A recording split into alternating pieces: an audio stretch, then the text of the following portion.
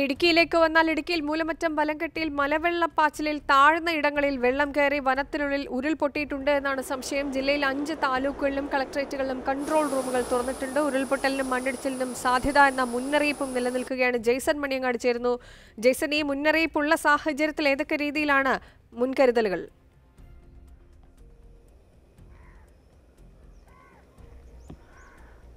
ശീതൾ വലവെട്ടിയിൽ ഇന്നലെ ഉണ്ടായത് ഉരുൾപൊട്ടലാണെന്ന് വനംവകുപ്പ് സ്ഥിരീകരിക്കുന്നുണ്ട്. പക്ഷേ അത് നിലവിൽ ആശങ്കപ്പെടേണ്ട ഒരു സാഹചര്യവും ഇല്ല എന്ന് തന്നെയാണ് വനംവകുപ്പ് വനം വകുപ്പ് പറയുന്നത്. ചെറിയ ഉരുൾപൊട്ടലാണ് സംഭവിച്ചത്. താഴ്ന്ന പ്രദേശങ്ങളിൽ കഴിഞ്ഞ ദിവസം അതായത് ഇന്നലെ രാത്രി വെള്ളം കയറിയിരുന്നു. അത് പൂർണമായും ഇപ്പോൾ അവിടെ നിന്നും വലിഞ്ഞു പോയിട്ടുണ്ട്. നിലവിൽ ആശങ്കപ്പെടേണ്ട സാഹചര്യം ഒന്നും തന്നെ ഇടുക്കി ജില്ലയിലില്ല. ഇടുക്കി ജില്ലയിൽ ഒരിടത്തും ഇപ്പോൾ മഴ പെയ്യുന്നില്ല എന്നുള്ളതാണ് ആശ്വാസമായ മറ്റൊരു കാര്യം. എങ്കിലും ജില്ലാ ഭരണകൂടം അതീവ ജാഗ്രതാ നിർദ്ദേശം മിക്കയിടത്തും നൽകുന്നുണ്ട്. പ്രത്യേകിച്ച് ഇടുക്കിയിലേക്കുള്ള വിനോദസഞ്ചാരം പരമാവധി ഈ ദിവസങ്ങളിൽ ഒഴിവാക്കാനാണ് നൽകുന്ന നിർദ്ദേശം. കാരണം അടിമാലിയിൽ നിന്നും നേ- നേരിയ മംഗലത്തു നിന്ന് മൂന്നാറിലേക്ക് പോകുന്ന വഴിയിൽ പലയിടത്തും മരങ്ങൾ ഒടിഞ്ഞു വീഴാനുള്ള സാധ്യതയുണ്ട്. മണ്ണിടിയാനുള്ള സാധ്യതയും ഈ പ്രദേശങ്ങളിലൊക്കെ ഉണ്ട് വിനോദസഞ്ചാരികൾ സാധാരണയായി അവിടെയൊക്കെ ഇറങ്ങി നിൽക്കുന്ന സാഹചര്യം ഉള്ളതാണ് അതുകൊണ്ട് തന്നെ ഇത്തരത്തിൽ ഇറങ്ങി നിൽക്കുന്നത് മറ്റുമൊക്കെ പരമാവധി ഒഴിവാക്കണം. അത്യാവശ്യ ഘട്ടങ്ങളിലുള്ള യാത്രയാണെങ്കിൽ അവിടെ ഇറങ്ങി നിൽക്കാതെ വാഹനത്തിൽ യാത്ര ചെയ്യണമെന്ന് തന്നെയാണ് ജില്ലാ ഭരണകൂടം നൽകുന്ന നിർദ്ദേശം. നിങ്ങളുടെ കാർഷിക ഭൂമിയിൽ നിന്ന് നിങ്ങൾക്ക് നല്ല ലാഭം കിട്ടണമോ? എല്ലാവരും ലാഭം നേടൂ. ഇനി ഒട്ടും വൈകണ്ട. ഇപ്പോൾ തന്നെ ഈ ഫ്രീഡം ആപ്പ് ഡൗൺലോഡ് ചെയ്യൂ.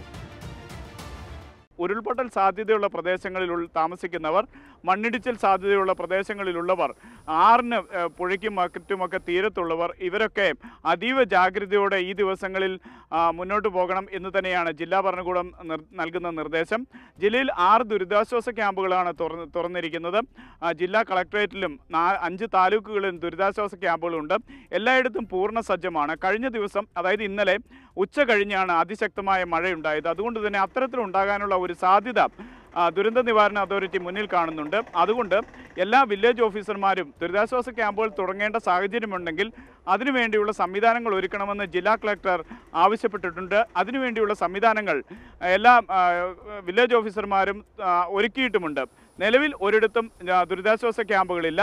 സ്ഥിതി ഇപ്പോൾ പൂർണമായും ആശ്വാസകരമായ അവസ്ഥയാണ്. ശീതൾ